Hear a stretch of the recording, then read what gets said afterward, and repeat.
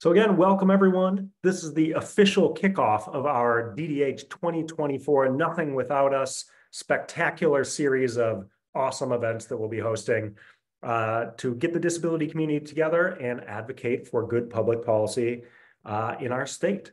Um, so I'm going to run through a little bit of our um, housekeeping stuff. I'm to talk about some trends, and I bet this is on an agenda slide. We'll start with housekeeping items. Uh, just so everybody knows, I'm a white male uh, with dark graying hair. I've got a little bit of a beard going on. I've got on an eggplant purple suit with a little uh, flag pin on my lapel, uh, and I've got a blue shirt, blue shirt with a blue tie. So if you uh, need American Sign Language interpretation, you can pin the video of the interpreter to the top of your screen so that they are permanently visible right there at the top. So if you go up to your meeting window where you can see the participants, uh, choose our interpreter. And there's these three little buttons right there up in the top right corner. Click on those and the middle one should be pin. See, I'm trying to move around my uh, pictures to join you. Uh, if you would like closed captioning, that's at the bottom of your screen. So you can turn on your captions by clicking on the CC button at the bottom. There's a little up caret, up arrow. If you click on that, it'll say show subtitles. Uh, you um, and you can see the full transcript and you can uh, fool around with the subtitle settings so that they suit your needs. If you have any questions about any of those housekeeping items, please feel free to put them in the chat. If you have any questions at all about anything I'm talking about, also, please feel free to put in the Q&A section. Uh, and we'll try to monitor both so that I don't miss anything. Uh, if I do miss anything, um, I'll, I'll go back to it. So we have a full jam-packed agenda this afternoon, so I'm going to get right to it. Uh, first, I'm going to talk about some trends that I'm seeing so far in year two of the 113th General Assembly. We'll talk about our 2024 TDC legislative priorities with some fabulous guest speakers. Uh, you can see that we have uh, some advocates, self-advocates, experts, and representatives. So I think we have a pretty good uh, selection of folks to, um, to help carry us through to talk about our priorities.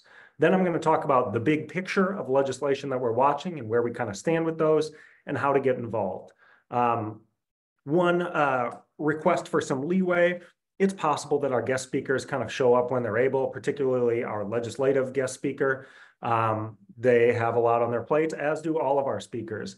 So it, it's possible that I will stop saying something in the middle of saying it, but I will make sure to get back to that.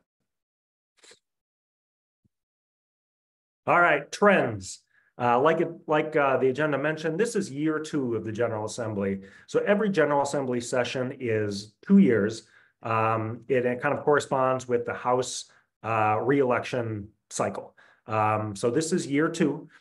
However, oddly, we have a couple new faces replacing some uh, seats that needed to be filled. We've got Aftyn Behn out of Nashville, and we've got Timothy Hill out east. We've got the official returns of uh, Justin Jones and Justin Pearson after their expulsion last year. But pretty much besides those two or four, however you're interpreting that, it's the same cast of characters.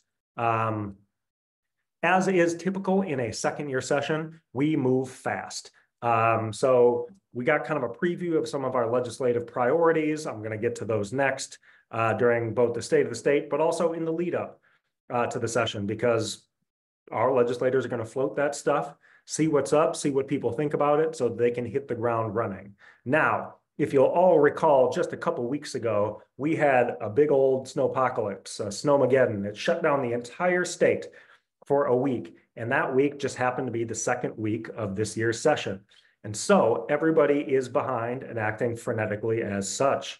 Uh, so you're seeing a lot of running around. So it's not just legislative speed for the things that we're watching it is quite truly the literal speed of people moving around Cordell Hull. Now, don't let that intimidate you because I'm hoping that because you're on this legislative webinar, you'll also join us for DDH. We can move just as fast. So I wouldn't worry about that. But once we see things start to get dropped, especially these big priority bills, they are going to move fast. We're not going to see a whole lot of rolling of bills where they'll be put on the calendar and then the sponsor will get up and say, no, we're going to wait on that. Um, when people are ready to go, they're ready to go. They don't want a lot of amendments this year. So they're talking about the idea here is a clean bill, um, which means that it does exactly what they want, and they've worked with all the folks who are going to see it through committees, uh, and that there will be no amendments or amendments won't be accepted. So speed, speed, speed. We're moving fast this year. Um, the big topic du jour, the topic of conversation that comes from the governor, his big legislative priority and his big initiative is a big legacy project in his mind. It is the statewide expansion of private school vouchers. So we in Tennessee have a couple different versions of this voucher. In the disability community, we have the individualized education accounts or IEAs, um, and those serve specifically students with disabilities.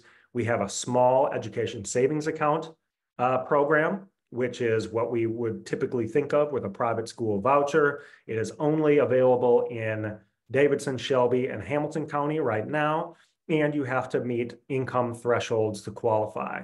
Uh, what the governor is proposing is every county across the state, and after two years, no income restriction up to 20,000 folks. Um, and I say that that's what he's proposed because it is currently in caption form. He has not filed this bill yet. They accidentally filed this bill uh, about two weeks ago and immediately withdrew it and took it off the, the website. But we got a little bit of a glimpse. It's hard to say whether or not that's the final product or that truly was premature a draft. Um, so I'm getting a little ahead of myself talking about private school vouchers, but uh, a lot of people are very interested in seeing what happens with that. Uh, another big theme that we're seeing cut across a lot of pieces of legislation are attempts to address the need in the state for more mental health services uh, for folks with that need, as well as services for folks with intellectual disabilities. And while that might kind of sound like a good thing, um, there are some drawbacks uh, to the types of things that they're proposing. Uh, I'll get into some of those later, um, but a lot of these are in response to um, the Covenant shooting last year and um, attempts to address public safety by means of mental health uh, supports and services. Um, so for the last four years, for as long as I've worked in this position, the state of Tennessee has been raking in the big bucks. We've had multi-billion dollar budget surpluses every year, um, except this year. This year, we are actually running a budget deficit. Last I checked, it was over $400 million short in tax revenue. So this is money that we had set aside last year. We said we're going to we're going to spend it in 2024. We're about $400 million short of what we need to be able to spend. Not to worry, we have an enormous rainy day account uh, in the state, over $2 billion of money that's sitting there just for the sake of a rainy day. And I don't know about any of you, but if you haven't seen a rainy day in the last four years, I don't know if one exists.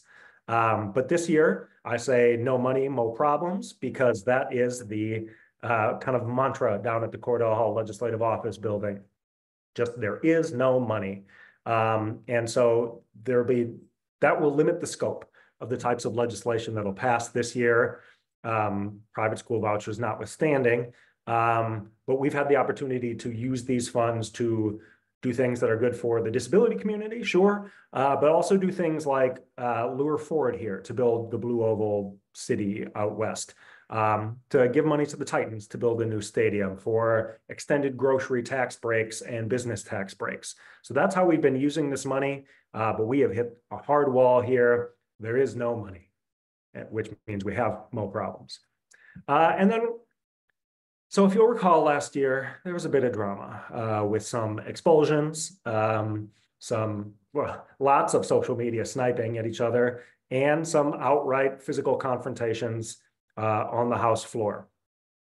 We thought that maybe over the summer, everybody would go to summer camp together and kumbaya and put all their differences aside, do trust falls, all sorts of things to kind of get our legislator legislature back on track and more like um, the General Assembly than a middle school. Well, they didn't go to summer camp. Uh, so we've already seen some drama this year um, when it comes to uh, the partisan divide, right? So the Republicans have a supermajority, which means they have two thirds of the votes in the House and the Senate, uh, which is a pretty impenetrable block. Um, and Democrats and, and others don't like that. Um, and so they've gone back and forth and spent a lot of time doing things from both sides that are not exactly governing and are more like bickering and sniping. Um, one of the big early controversies this year was some changes to the rules about who can watch the House floor. So if you've ever been to the legisl or to the Capitol and gone into the House chamber, up above on the second floor, there's kind of uh, a balcony of seats up there. Typically, or in past years, you've been able to walk up there and just pick a seat if there's space. If there's no space, the state trooper at the bottom says, hey, no space, sorry. Uh, this year, it's been cordoned off into three areas. You've got the general public area, uh, which is straight to the back, uh, and that operates as normal. If there's space, you can go up there. And then there's the special VIP space, where each uh, House member gets one ticket per session that they can give out to a constituent to go sit there. They call it the golden ticket down there. And that allows you to sit over there on the left side. And then it's media and lobbyists to the right side. So part of this is in response to uh, the concerns about disruptions from the audience, uh, especially in light of the really emotional responses we saw after the Covenant shooting. Uh, parts of these are to tamp down on dissent and protest. Um, but there are other parts, and this is what Cameron Sexton, the Speaker of the House, would tell you, is that this is just meant to keep order. These are the rules of the House. We set them every year. Everybody votes on them. If you don't like it, then you find better rules and you can vote on those that they more more closely um, more closely uh, resemble those uh, in the U.S. Congress, which is uh, an interesting take. But uh, I see Joy says in here, I went today and left. No way for wheelchair to balconies to watch Senator House chambers. I was offered to watch the screen in the lobby. Yes, the Capitol is very inaccessible. Um, they have some elevators, um, but once you get off the elevator, especially on the Senate side, it is a narrow little walkway to try to get up to the balcony uh, that I don't think many wheelchairs could fit through. So yes, Joy, I, I hear you and I've seen it. Those are our trends. So I don't think we have Representative Hale yet. So we'll come back to Representative Hale uh, and we'll move forward and start talking about some of our uh, TDC disability community uh, priority pieces of legislation this year. So it looks like uh, Bliss Welch is going to come up next. Uh, she is a single working mom to a tween, Annabelle. Uh, we visited her out in Chattanooga this last weekend. They are into Legos and they are really good at Legos. And Bliss, if she is so willing, might tell you it has a favorite color. She is the founder of Inclusion is Bliss, and she can tell you about that, and a member of the Tennessee Council on Developmental Disabilities. And she has been working very hard with us uh, on a specific piece of legislation that I hope she can tell you about and why it's important to her. So Bliss, uh, if you don't mind, would you talk a little bit about our Pathways to TennCare bill, about who you are and how others can get involved? And if you wouldn't mind, would you provide an audio description? Just tell us briefly what you look like so that everyone on the call can get a picture. Thank you. Sure. I am seated in a power wheelchair. I don't know really how much of it you can see. Um, I have a black dress with a pink cardigan, uh, blonde hair, and glasses. Thanks, Bliss. Can you tell us a little bit about the Pathways to TennCare bill and how you came to be an advocate for it? Sure. So the way that I understand the uh, Pathway to TennCare is it's a Medicaid buy-in program. Um, Medicaid offers a lot of long-term supports and services that private insurance companies do not offer. And you would be able to pay in um, like normal insurance premiums to be able to have access to those additional supports and services.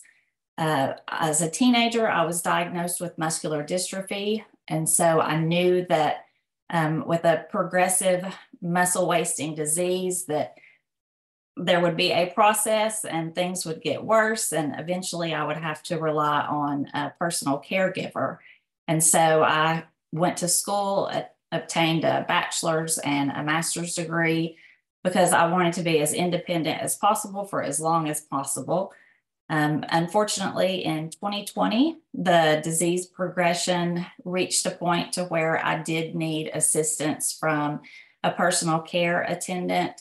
Uh, that's something that I have been paying out of pocket for because I do not qualify for the Medicaid uh, program in Tennessee.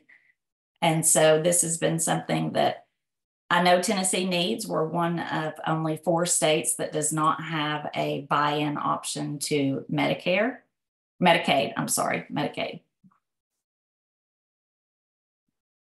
Thank you. Struggling to come off mute here. Uh, yeah, that's exactly right. So, uh, exactly as Bliss just told us, Pathways to Care is essentially a Medicaid buy-in program. We call it something else because Medicaid buy-in sounds vaguely close to Medicaid expansion.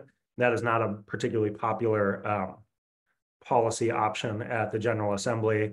And you could, uh, in order to be, uh, eligible for this program, uh, you would have to have a qualifying disability, so you'd have to qualify for Medicaid, except for the income and asset restrictions, um, which are, as many of you know, uh, uh, low, right? So it's two thousand dollars in assets.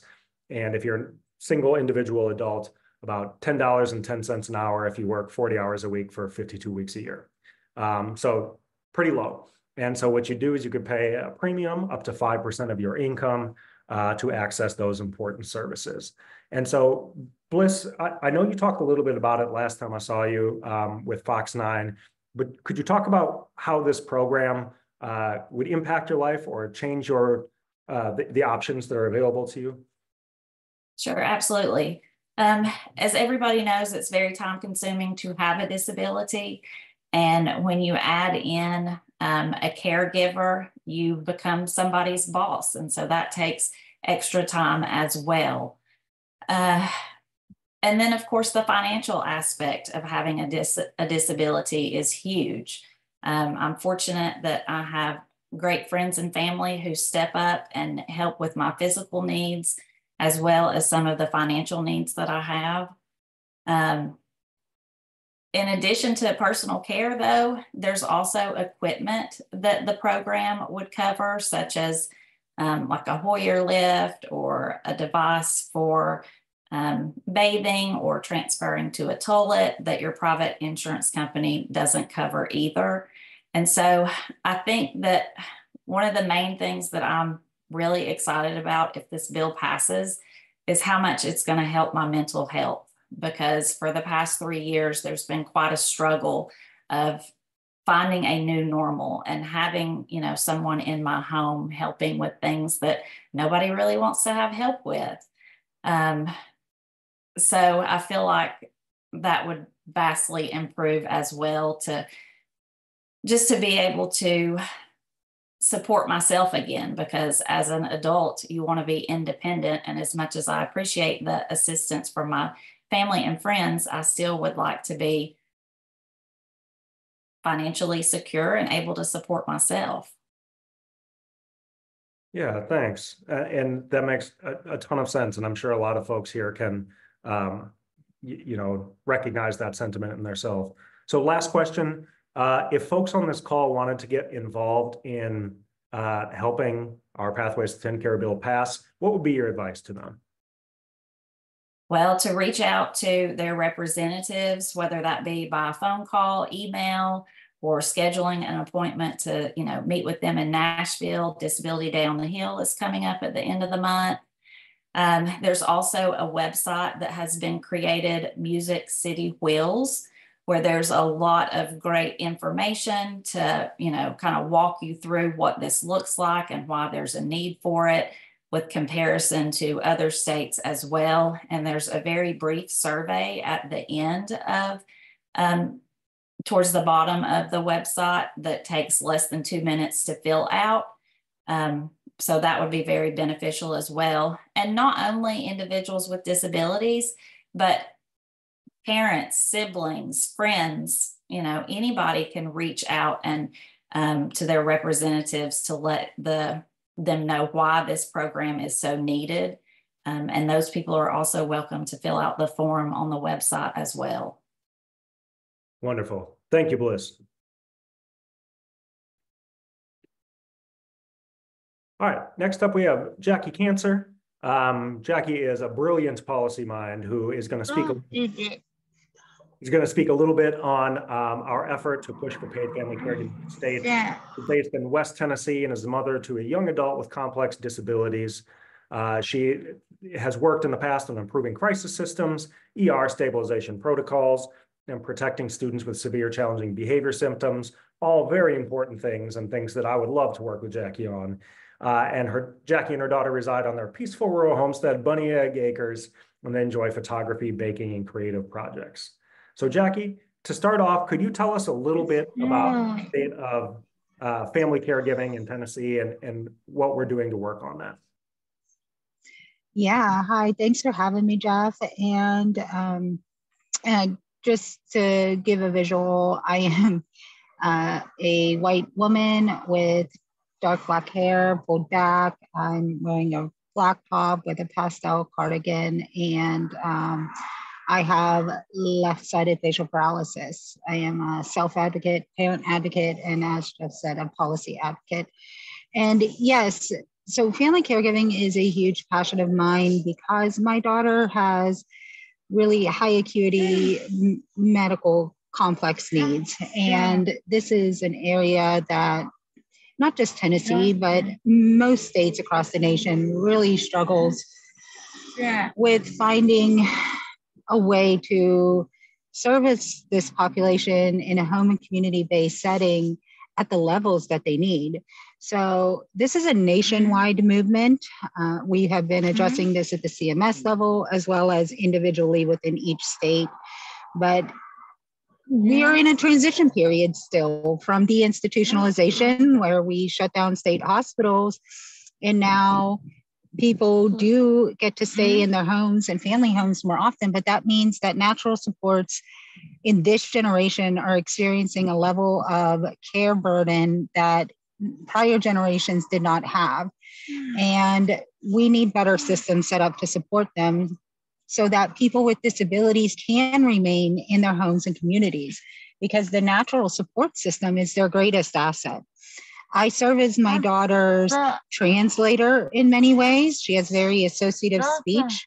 So, though she has some language, if she wants chicken nuggets, she would say bees mm-hmm. because she wants chicken nuggets with honey from McDonald's, and honey comes from bees. So she would say bees. And that's not something that necessarily an AAC device or some other form of technology is going to be able to replace a caregiver for. We do high level ADL support. Um, I have to do cathing. I had to learn how to do that, which is a skilled nursing staff. I manage complex medications, um, scheduled medications, 11 a day. Uh, I twice a week I go to Nashville at least twice a week to from Henry County to take her to appointments. There's a lot that is involved. We serve as CNAs, skilled nurses, um, they're social workers, they're translators, they're advocates, and we do all of this unpaid. They at most currently you can get a thousand dollar a month stipend, but the problem is, though my daughter has been on ECF since 2018, ECF really mm-hmm. does not provide the level, the high level of medical care she needs. Mm-hmm. And so she's unable to access the paid supports through ECF, but she requires 24 7 care. So when am I supposed to work? When how am I supposed to have a Monday through Friday, nine to five job? That's not possible. And many, many caregivers are in this same position. Now, I'm fortunate due to my policy work, then I'm able to have a contracted position where I work for a, a nonprofit agency and can do project work on time pockets that I have available when she's sleeping or here and there. But most caregivers do not have access to that. And we really are looking for a way to be more self sustainable. Um, we still have bills to pay. We have to keep food on the table for our kids. And we don't want to be reliant on food stamps or government assistance or anything else. We just want to be fairly compensated for the high skill work that we are providing. Many of our children, for example, my daughter right now, she's approved for 56 hours a week of CNA care. The most they have ever been able to staff her was 40. Well, those extra 16 hours a week are approved, but just sitting there unstaffed, I'm providing that care. It's approved. So why am I not able to onboard as her care and I'd be paid that wage with the agency?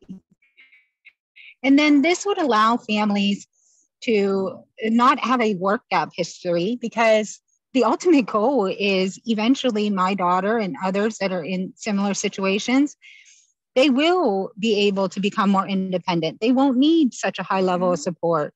But then what happens to the caregiver who has been out of the workforce for 15 years, 20 years, and then tries to go back in and they don't have any work history? We're also not collecting social security credits. So, what happens when we need to retire? There's a lot of issues here. Mm. But if we're able to onboard with an agency for the care that they're approved for anyways, the care that we're already be providing them anyways, then we would be able to have sustainable wages. We would be able to pay into the system and have things like earned income credit. We would be able to buy into group health insurance. We're not asking for Medicaid from the state or anything like that. We're just asking for a way to have a dignified life and be fairly compensated for the meaningful work that thousands of caregivers across the nation perform every single day. Exactly. And thank you, Jackie. And uh, if anybody has questions about that, Jackie is an immense source of information and knowledge on this issue, not just from her experience, but from her professional work as well. Um, so, Jackie, what um, could could you run us through just very briefly um, like a couple policy options. What could this look like, or what do you know that other states do that you think would be good in Tennessee? Well, mm, caregiving, they're using a company called Team Select, and they have done multiple webinars on this. Um, they are happy to just consult with states that are interested in this.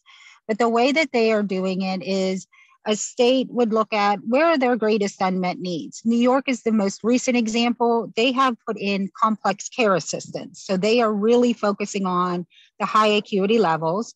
And Team Select comes in and performs and sets up these training modules and these training programs.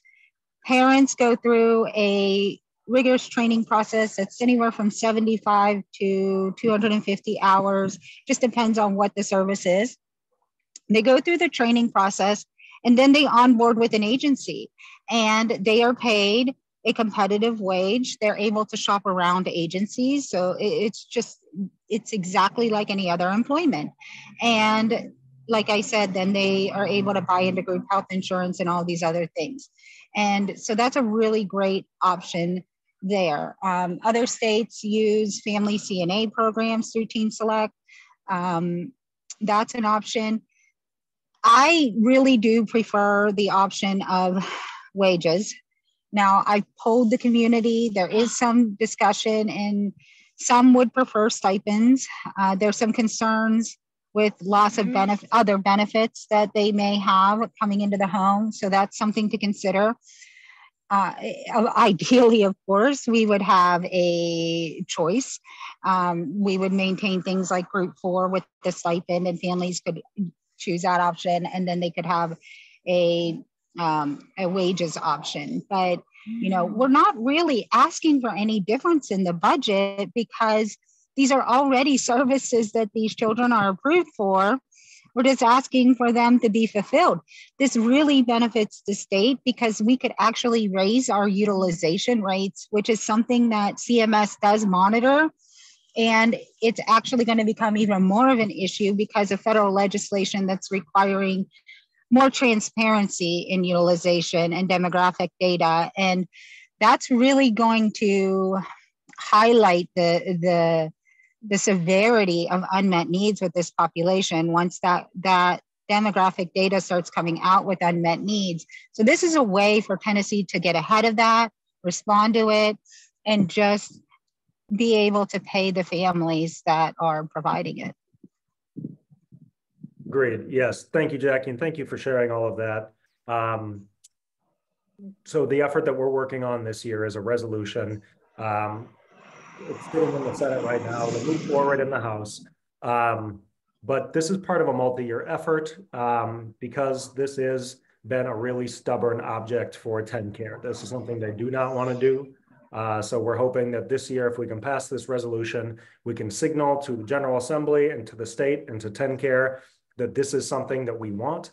Uh, and this is something that we need, uh, and that if they're not going to do it at the urging of the General Assembly, um, next year and, the, and hopefully, well, hopefully just next year, uh, we can do more than urge. We can dictate and direct that they do so via legislative action. So thank you, Jackie. Um, if anybody has any questions, I'll make sure to relay them to you. Uh, I appreciate you joining us.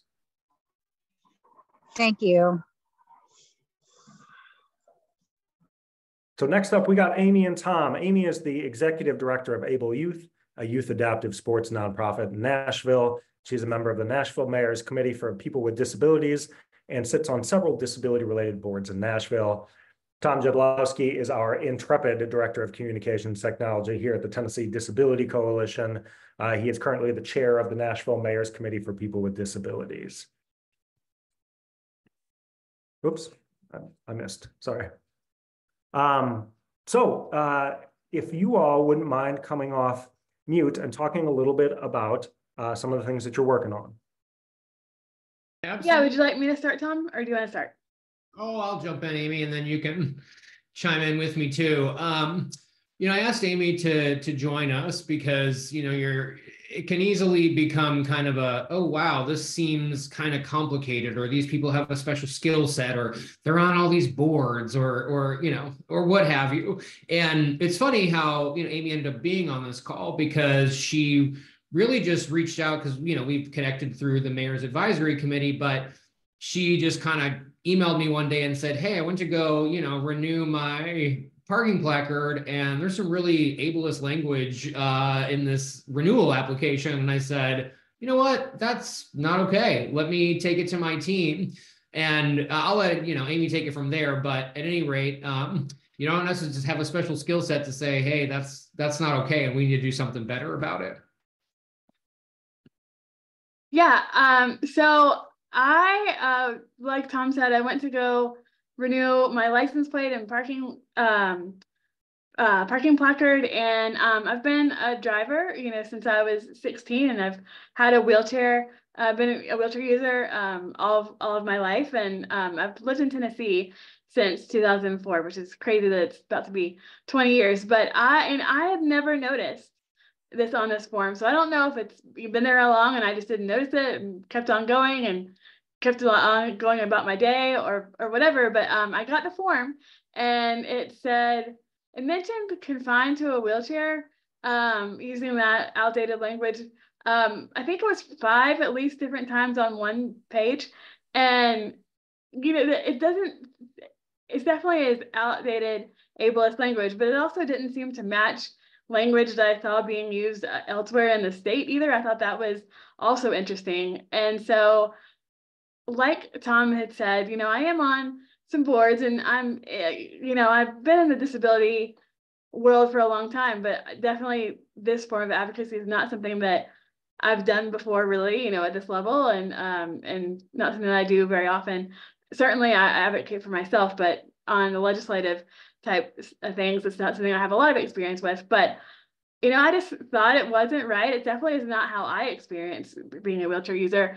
For me, being a wheelchair user is freedom. If I didn't have a wheelchair, then I wouldn't be able to do anything. And so I thought it was actually even really more interesting that it was on the form for being a driver or a passenger, depending on um, your circumstance, because not only does my wheelchair to me mean freedom to go do what I want, but it's also using confined to a wheelchair as a confining thing, meaning to be able to go into a car that brings you even more freedom than your wheelchair even ever could. So it was just really, really strange that that appeared on that specific form. And so I just thought about it and I knew that I knew Tom. And I didn't, I didn't have really have any idea what to do or where to take it or what, you know, anything like that. But I knew that the coalition and Tom were really involved in that kind of thing. And I just sent him an email and said, hey, do you, have you ever seen this or noticed this or know anything about it? Like this is really outdated and ableist language and is there anything that can be done about it to get it to change and i also mentioned you know it's definitely language that i'm not seeing elsewhere so you know why are we seeing it here and so um, i emailed tom and uh, through the wonderful people at the coalition it's um, and you know, people that they then reached out to that uh, it's gone further than really I could take it. I'm glad that I noticed it and I spoke up and said something, but then, uh, you know, I didn't have to do a ton more difficult things. Other than that, I was able to just, you know, speak up for something that I saw that wasn't right, and then ask somebody else and, uh, you know, and kind of let the chain go from there. So, um, it looks good. Hopefully, we're gonna be able to get that changed. And so, yeah, I'm really glad that I, that I did it. And I think it was easy, especially I think everybody on here, you know, knows who the coalition is, and I think don't hesitate to send in your questions or your things that you see not right uh, to them if you don't know of anywhere else to bring it to. Amy, just real quick, what advice would you give to other people who might be on the call and say, you know, I've seen some things that I I am not comfortable with or that I think could be better. Um, what advice would you give them? Yeah, you know, I think that don't assume that other people are are doing something about it, that you have the opportunity to do something about it because other people either also may have thought it was too hard and decided not to do anything or did not know what to do or just went about their day and and, and uh, you know kept on going. And things don't get changed and society doesn't move forward when we when we do that. And so i think this the biggest thing is to say something. If you don't know anybody to, to bring it to that you don't know what to do, then now you know the coalition can either help you move that forward or go to the right person. But I think um, the biggest thing is just to notice and to, you know, if you see something out and out and about, take a picture of it, whatever it might be, and then, you know, bring it forward to somebody and to kind of see what happens. How hard was it? No, it's not hard at all. No, I- I know you well, and so it was really it was great to be able to send you an email in the middle of the week and say, hey, you know, I I noticed this. So it's not not hard at all, and I think that's the thing is like we think it's too complex, or I don't maybe really know somebody who can definitely do something about this, but I think with a coalition or you know if it's something else maybe there's somebody else who you knew that can can start the conversation but you don't have to be the one to do all of the work or have know exactly the right people as long as you bring it forward at least one step then i think there are plenty of other people who do know the right step next steps to move it you know really forward Exactly. Wonderful. Thanks, Tom and Amy. Um, so an update on this one, our, our bill that we put in on, on behalf of Amy, uh, it, it's a very simple bill. It just says we should change this to more appropriate modern language. And so that's what the bill does. It passed uh, through the first two committees on the House side and the first on the Senate side. It's set for the Senate floor. I think tomorrow, today, um, or else it'll be uh, the beginning of next week. Uh, the House hasn't calendared it on its floor yet, um, but this one is well on its way. Uh, and I'm not really seeing any uh, obstacles to its passage. That said, you know, always knock on wood and always make sure that your best advocate foot is, is forward. So I'll keep everybody up to date on that. So thanks. And, you know and i will say one more thing is that i think that there's so many things people in general in society don't know about people with disabilities so i don't i think that if if i hadn't spoken up i mean i'm i'm sure that there are people who thought that was completely fine and so i think also just realize that you as a person with a disability or as an ally towards people with disabilities know things that other people just don't know and so i think uh, your lived experience can really um, really help society and bring about a lot of change just Absolutely. being who you are Yeah. And I, and I one hundred percent agree with that. And I, I personally think that the disability community has a special place in that. The idea of universal, uh, policymaking, where what benefits the disability community is always going to benefit everybody else. So when we do something for ourselves, we're really doing something for our, our whole state. So it looks like, um, we haven't seen Representative Hale yet. Uh, so I'm going to move on and talk a little bit about um, legislation that we're watching this year. So we talked about a bunch of these, so I'm, I'm not going to belabor any of these points. Probably I tend to be long-winded, so if I belabor, I apologize. Um, so the first one, or the left side you're looking at is stuff that we're working very directly on and have um, uh, that we have um, a, stake and, and have, have been working on. Sorry, got distracted. Uh, so Left side are affirmative TDC disability community things. So Pathway to TennCare, that's our Medicaid buy-in program. Uh, what we're working on there is simply getting it on the calendar. It's been filed, it looks good. Um, and, and I think we are ready to get going with that pretty soon. Uh, one of the things that I'm really excited about is um, an, an opportunity to overcome what was likely going to be the biggest barrier to its passage, and that's that it's going to cost money. Uh, but we in our states have a very, very special Medicaid waiver with the Centers for Medicare and Medicaid, CMS, uh, that allows us for, to keep something called shared savings. So money that isn't spent on our Medicaid population or programs goes into a slush fund that we split with the feds. And Tennessee gets to keep part of those funds if we spend them on new programs and new populations. And lo and behold, we don't have a Medicaid buy-in program and we don't serve that population. So look, two for two right here. So we qualify to use these funds. And at the behest of the speaker, Cameron Sexton, suggested that we write into our language that this is where the funding will come from. So I think with this one, we have a fantastic, you know, ethical case. Um, this is an employment bill. We're an employment first state and very proud of it.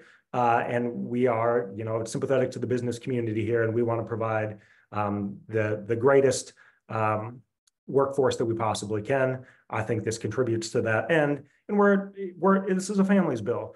This permits people to live lives without having to be concerned about the loss of their benefits. And so that just provides a level of freedom uh, both financially, but also, you know, socially, and just that freedom, the the, the peace of mind that it, it, won't all go away in a second, to the extent that we can all believe that. Um, but the obstacle is always going to be money. If we can indeed tap into these funds, and we'll make it on to the um, the the final budget passed by the General Assembly, I feel very good about this one.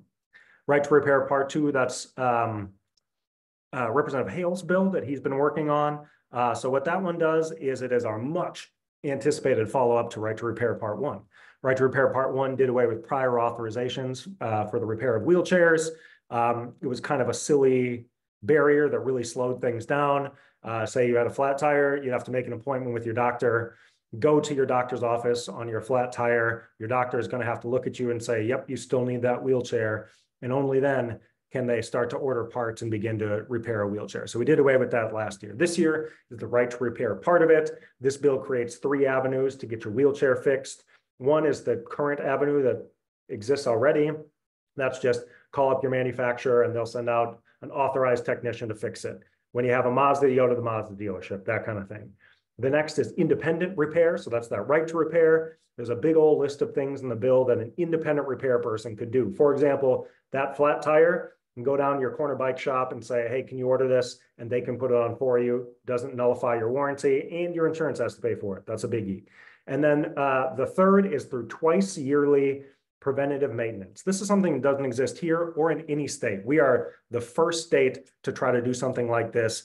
And that's the opportunity for someone to come out from your the person who sells you the wheelchair, your supplier, and check and see how things are going going with your wheelchair and maybe get any issues before they become in need of repair, a broken something.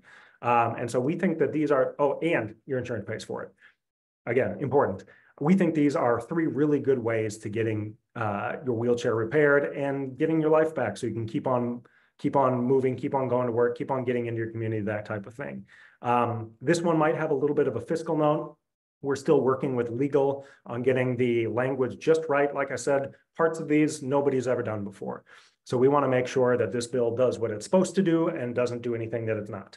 Uh, so we're working with the legal department of the General Assembly to get that right. Disability parking placards, we, we just talked with Amy on this one. Uh, very important one. I think this one is going to be our first build across the finish line this year. Knock on wood, cross your fingers, all that stuff. Paid family caregiving resolution. This is what Jackie talked to us about. Again, this is a resolution. Quick reminder on resolutions, non-binding.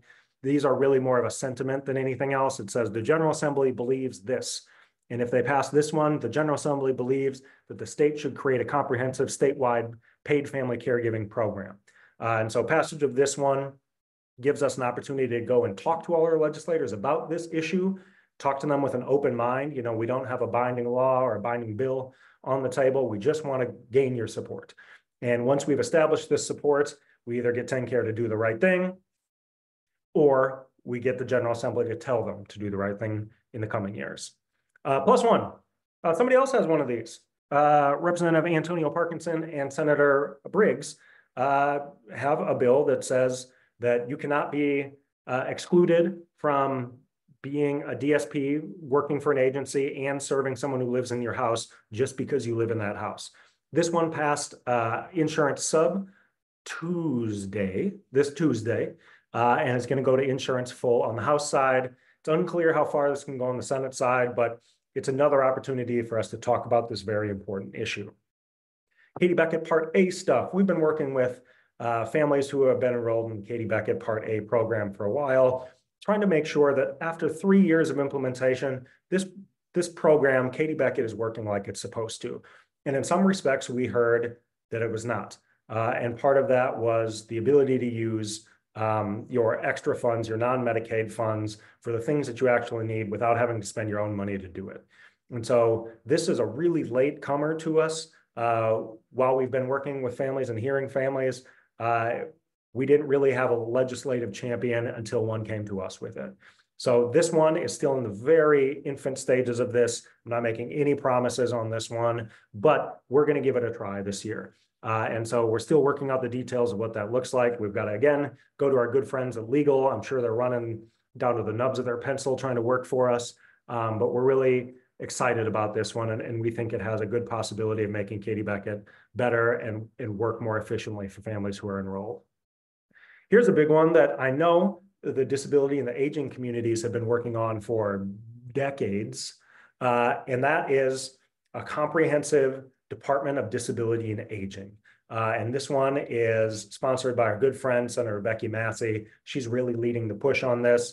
It's hard for me to describe the benefits of this without using weird corporate speak, um, but so I'm just going to do it anyway. This really is an opportunity to streamline services and eliminate redundancies and make sure that we're using all of the funds that we get for our specific purposes, you know, the disability funds for folks with disability, aging funds for folks with aging, and then the crossover between the two, that we're able to use those most efficiently to have the biggest impact. And that sounds like I'm saying a whole bunch of nothing, but if you take a look at the differences between DIDD and TCAD and the Department of Health, uh, the Department of uh, Housing and Urban Development around here, uh, we can see that they're all acting in silos.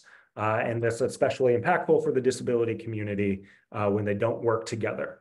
So we're hoping that this department, should it pass, um, helps to improve uh, the types of services, the access to services that people with disabilities and those who are aging can access. Just, I'm sorry, I'm just checking the uh, chat while I got to the bottom of one list. Um, Jax uh, is uh, Representative Hale's uh, legislative assistant, his right hand, and like I will tell anybody who listen, uh, half of the best office that exists um, in Cordell Hull. They are very good friends to us. They carry many of our bills and they really understand the disability community. It looks like uh, Representative Hale is not able to make it. Um, Representative Hale had a funeral come up last minute and said he's a funeral director, uh, just FYI, uh, but he said he should be able to make it on. If not, uh, Jax would be happy to talk about uh, what we're working on if needed. He asked me to apologize for the scheduling error as well. Uh, Jax is available. Jax, could you run us through really quick what our right to repair bill, the wheelchair bill, does? Yeah, so um, I was actually kind of looking over it um, as you were walking through it, just to make sure I'm fully uh, fully familiar with it. Yeah. Uh, so, and, and please uh, hop on it if I if I hit this incorrectly. But what what now we're aiming to do is saying that we've removed the prior authorization. So now uh, people who are using wheelchairs are able to take those parts um, and, and, they list a couple different parts that are like batteries, chargers, uh, leg lowerers, non-positioning accessories, things like that. Um, and they're able able to either self repair it or take it to um actually I think that's him.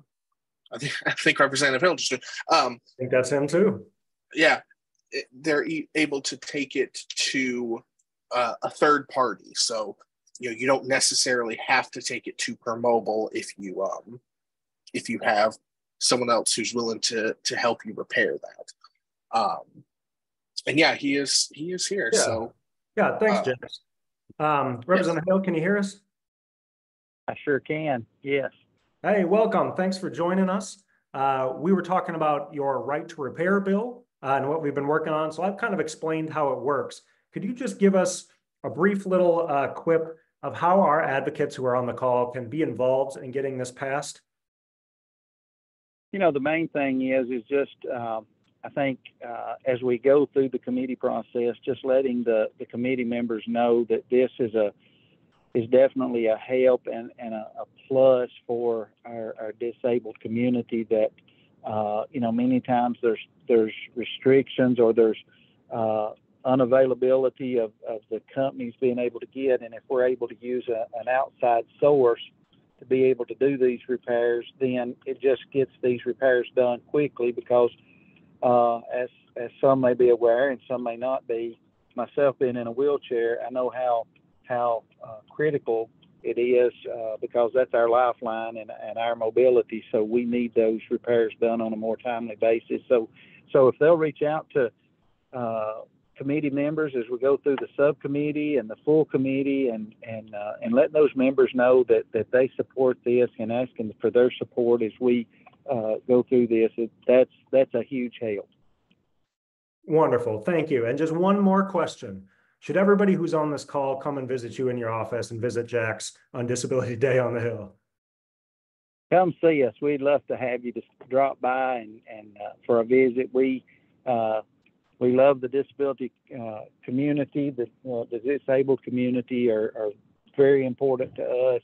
Jeff Strand, you are just top notch. We always love when you stop by, and and uh, I'll tell the, the the listeners on here when Jeff Strand comes to our office, he has our full attention, and uh, we know what he's coming with is is legit and, and things that we need to be focused on because ultimately it's about making the lives of Tennesseans better. So, Jeff Strand, you are uh, probably my favorite of, of all of our folks we work with. You're you're uh, right at the top, my friend. But but I invite the folks to stop by anytime, not just this uh, disability down the hill, but anytime. Uh, and feel free to give us a call, reach out if there's an issue, things that we can work with, help with uh, that's what we're here for. Wonderful. Thank you so much for joining us. Uh, the feeling is mutual. I will tell anybody and everybody who listens, best office in Cordell Hull. So thanks for joining us and I'll talk to you soon. All right. Thank you. Yeah. Thanks, Jax. Thanks, Phil. Thank y'all so much. Y'all have a blessed day. And I'm not kidding. I'm not just sucking up to these guys. It, it, it is an office where you go in and you feel a lot better uh, when you come out than when you went in. So I encourage everybody to go give them a visit. Um, looks Thanks, like Jeff. It looks like we had a good question about that bill in the chat. Uh, Joy asked, was this for both Medicaid, TennCare, and Medicare? I'm Medicare and have waited sixty plus days before replacement tires, so I ordered them from Amazon. Um, so our intention is for it to be Medicare and Medicaid. We are directing TennCare to cover this as part of the benefits plan. Same with private payer insurance as well. Um, Medicare has some scary, untested uh, rules around where a power wheelchair can go. So I'm jumping, uh, making a conclusion, uh, jumping to a conclusion, making an assumption here. We're talking about a power wheelchair. Medicare says that you can't take your power wheelchair outside, which is silly. Uh, and so it is an open question whether or not we're going to be able to apply this to Medicare. It is our intention to apply it Medicare, and it is the way that we've written it is to apply to Medicare as well. Um, but that's a fantastic question because that is one of those odd, you know, untested gray areas uh, in these complex regulations. Uh, so thank you for asking that question. I'd be happy to follow up at all with that. Thumbs up. I really hope it's two thumbs up in that Medicare recognizes that we have the you know authority to dictate this. All right, let me, I think we have Okay, I just want to see cover like two more things. I've got, I'm going to do it really fast. So I'm going to pick um, two of these. Um, the first is a very good one from, from our good friend again, uh, Senator Becky Massey. Uh, it establishes um, the existence even of an absentee ballot for someone who has a print disability. Uh, and it is directing the state to come up with that print disability absentee voting mechanism um, and it provides another option in a state where we are very strict about who can vote and how. Um, another option for folks with disabilities to be able to cast their vote at the ballot box come, well, not just November, but anytime. Uh, so a very good one. Uh, hoping to see that one pass. Haven't seen it move yet, uh, but we've got our fingers crossed on it. Uh, private school vouchers, we've touched on a little bit. Uh, we haven't seen it yet. We'll let you know when we do. Uh, and at the invocation of the disability community, I think that's when we move. But until then, I say we keep our ammo dry, powder dry. Yeah, that's how you say that one. Last one I want to talk on involuntary commitment. Um, this is one that's called Jillian's Law. It's a very uh, difficult subject. It's a sad story. Uh, it's a response to the Belmont shooting this fall. Um, and so what this one does is it lowers the threshold for involuntary commitment for people with intellectual disabilities. People with intellectual disabilities can already be involuntarily committed. This makes them have to, so how that would work is the prosecutor has to prove they're a threat to, the, to public safety in the, in the way that they're lowering it or proposing to lower it. Someone who is found incompetent to stand trial due to their intellectual disability must turn around and prove that they are affirmatively not a threat to public safety. And that is a really, really high threshold uh, and really dangerous slippery slope back towards institutionalization. Uh, not only is it back towards institutionalization, the state as it stands right now does not have the capacity to enforce this rule or enforce this law. Uh, and by passing this, we are subjecting ourselves potentially to a massive, massive civil rights lawsuit. So don't like this one. Okay, if you see anything else on here that you want to talk about, please feel free to reach out to me. I'll put my email in the chat. Uh, it is also Jeff, J-E-F-F underscore S at tndisability.org. Please feel free to reach out. If you haven't signed up for my policy updates, you can do so on the website. So I think this is perhaps one of our last couple slides since we are running low on time. Um, so after the webinar, ways to continue on to get involved with DDH, to enhance your DDH experience, you can go to tndisability.org to find materials that we discussed on this webinar, to access this recording and transcript of the webinar, and join in on our other Disability Day on the Hill plans. Make sure you RSVP. I hope to see everybody at Fat Bottom Brewery the night before to have a beer and talk over this stuff. And here's what we got going on. Upcoming virtual events, we've got Disability Advocacy Day, the whole state, literally everybody lights up blue. Uh, so you can take a look at the Capitol and you can see they've changed the colors on the rotunda to blue. Uh, over in Memphis, uh, the big Bass Pro uh, pyramid turns blue. Uh, it's very cool. And so it's a celebration of all the work that disability advocates have done over the years.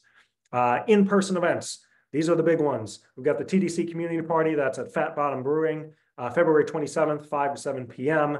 That's where I want to come and chat with you. It's a little bit more informal. Get to see, get to hear what you're working on and get everybody amped up. It really is that community party, that community word uh, rings very true with that event. Uh, you feel very, you feel amongst your people, and you feel very good about having the opportunity to to chat, to have some heavy apps, to maybe have a beer if you're into that kind of thing, uh, and and really close, more closely knit our community. And then it's the big day, February 28th, Disability Day on the Hill. That'll be at the Cordell Hull Legislative Offices in Nashville, down by the bus station, right down the hill from the Capitol. Um, and it's fantastic. Last year was my first in-person Disability Day on the Hill. And as for as cool as the community party is, Disability Day on the Hill, when everybody is down there, uh, is so very cool. So I encourage you to RSVP at our website, work on setting up your legislative meetings, keep an eye out for what's coming up in the committees those days, uh, and join us. Join us. Get your swag bag. And then to get very important things, often from me, sent directly to your phone. This is helpful, keeps you up to date. It makes it really easy for you.